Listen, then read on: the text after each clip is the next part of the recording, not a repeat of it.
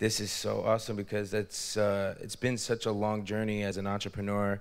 When I started, it really wasn't the cool thing to do. I grew up in a uh, I so I grew up in a small town in New Jersey, um, and I owe it all to my mother and father, my family. That has been like my big support system because they taught me at a young age that I pretty much had to become a hustler. I had to grow up fast. I had to, um, you know, understand, you know, certain values in life.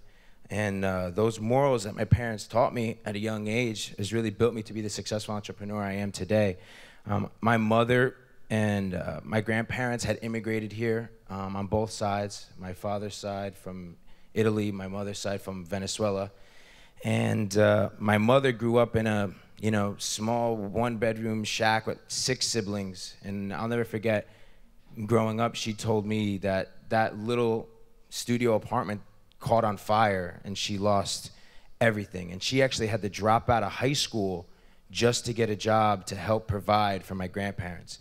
And she was always told me that if I was able to do that with the shirt off my back and now build my build my family, you and my two sisters, Monica and Cynthia, then you can do anything. And and and even still, like growing up in that small town in New Jersey, um, I saw my mother work seven days a week at a supermarket. You know, so that motivated me so much to want to be able to give back to my mother. And then my father, you know, really instilled leadership at a really young age. Um, same thing, extremely hard worker, um, very educated he worked for Prudential and he put a lot of pressure on me. You know, growing up, it was like he constantly told me, you have to be a leader.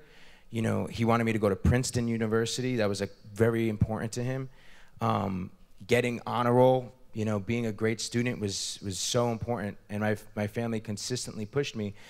Um, but growing up, I really wasn't the smartest kid. I didn't really relate to books as as much as I did real life experience. I was very outgoing um, very charismatic, where I would I wanted to learn from just different experiences and people. I ended up making friends with like my everybody in my neighborhood, all the older kids, and you know, um, I was an artist. I loved art. I all I asked my parents was to put me into art school.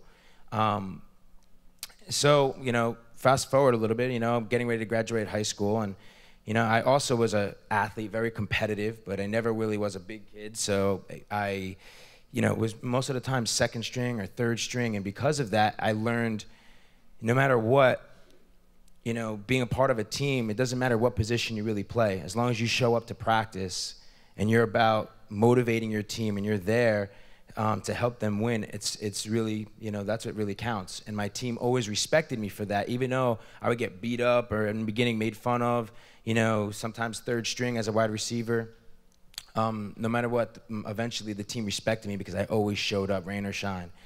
And I took that same mentality. So once I graduated high school, um, I you know wanted to go to college, make my family proud. They told me that that was really the path to success for me.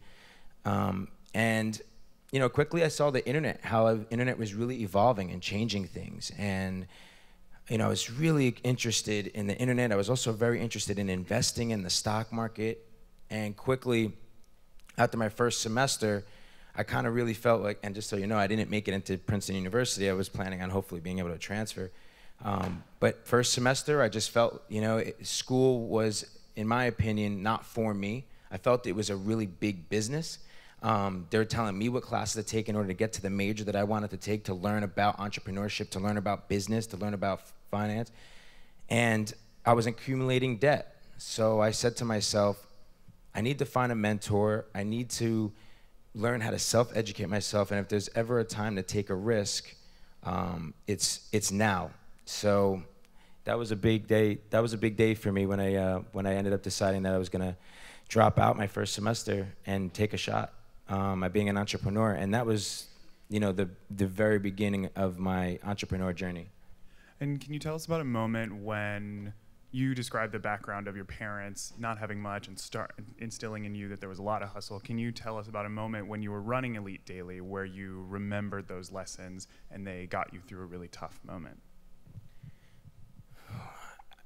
If throughout my whole entrepreneur career, um, all the way up into Elite Daily, Elite Daily, I mean, it took me a long time to even get to Elite Daily. So I, those those values, those morals, that mindset that my parents instilled in me at a young age helps me till today, um, no matter what. Because you're always gonna have, you know, as an entrepreneur, it's like, you know, when they say like riding a, you know, a motorcycle, you're, you know, eventually you you're gonna, you know, you're gonna make, you're gonna, it's inevitable. You're gonna make mistakes. You're gonna, you know, you're gonna have to learn how to pivot and you're gonna learn how to, how to bounce back. You gotta have like resilience.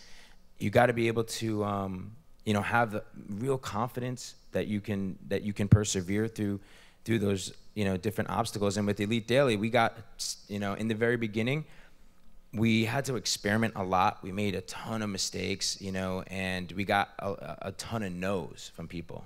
You know, people are telling us, you know, it's hard to raise capital. You know, the getting advertisers to believe in us. You know, they, they didn't believe in our content. They didn't believe that we were a real pub, you know, a real publication um, with Why notoriety. was that? Why was that? Why wouldn't they believe in the publication? Um, I think one because of our age. I, you know, I think we were. You know, I had mentored this my my partner and CEO David Arabov, who was 19 when we started it, and you know, we were we were a young. You know, we were a young team one, but you know, for me, it's never been about it's never been about age. Um, I think the biggest thing was the way that we were kind of disrupting content at the time. You know, we looked at the industry and saw a uh, an opportunity where we looked at every publication out there that was writing for millennials, and we we felt that there was a void in the market of the type of authenticity in the content that was written for us by us, and hitting you know every single vertical at the time, and you know we wanted to open this up to you know to all millennials that have a story. We felt we felt everybody has a story. Everybody should be able to have a voice, um, and we very much allowed. We really didn't have too many rules. You know, we kind of allowed people to kind of say it right, the way it was and how they felt, and uh, this kind of caused a lot of backlash on us in the, in the very in the very beginning. And can you tell us about a moment? You said you made a lot of mistakes in the beginning. What about the moments where you were sure it wouldn't work? You know, I think that that was more my role um, with my co-founders. Is there was I, I don't think there was ever a moment that I ever said this is not going to work. I always was the one pushing the team, um, pushing my co-founders. You know that we have to believe in ourselves and we have to believe in what we stand for, and you know just keep pushing forward and keep believing. And if we believe and we are seeing the results ourselves i mean a lot of people didn't believe our analytics in the very beginning either. They felt you know a lot of it was or all of it was like bought traffic and bots and things like that. We knew what we were boosting and what we weren't boosting and we knew what was truly organic and we had to learn the game. We had to learn how much comscore played a role and certain you know how to be able to kind of um, gain the notoriety with the agencies and things like that. But until we did, we still knew, based upon un- eventually understanding our analytics, that we had something, that we were engaging our audience, and we were building a product and content that we knew was valuable to our audience and that they enjoyed on a daily basis. And no matter what, even though if we can't raise them enough capital in the very beginning, or we're not getting the advertising dollars that we, you know, and the brand deals that we wanted, we knew at the end of the day that didn't matter because as long as we focused on our product, as long as we focused on our content, as long as we focused on the value that we're bringing to our users and that they enjoyed that on a daily basis, we knew that it was only a matter of time before, before the, you know, before the outside world would, would, would catch up. And to young entrepreneurs who are having those same struggles, what advice would you give? Where do you strike the balance between persisting with the product for the amount of time that you believe it's going to take for people to recognize it, or just giving up and trying something new? You know, I think if you focus on the product, you know, you focus on a great product, and um, you know, you, you you you truly believe in it, and you test the market, you prove out the concept even on a smaller scale, um, you know, and you study that, you study those metrics. I think if you you know it may take some time. You look at like snapchat you know how big snapchat is today but it didn't happen overnight. Nothing happens overnight. It takes time. So you you know i you know i truly believe you know don't if you believe in it if your team believes in it if you if you see that the product it, there is a, a marketplace for that product and people enjoy it and it's but it's going to take time to educate a market. I mean we live in a generation where we're disrupting things constantly. And you know that's what's so exciting about this the, the opportunities that we have today um, as a generation.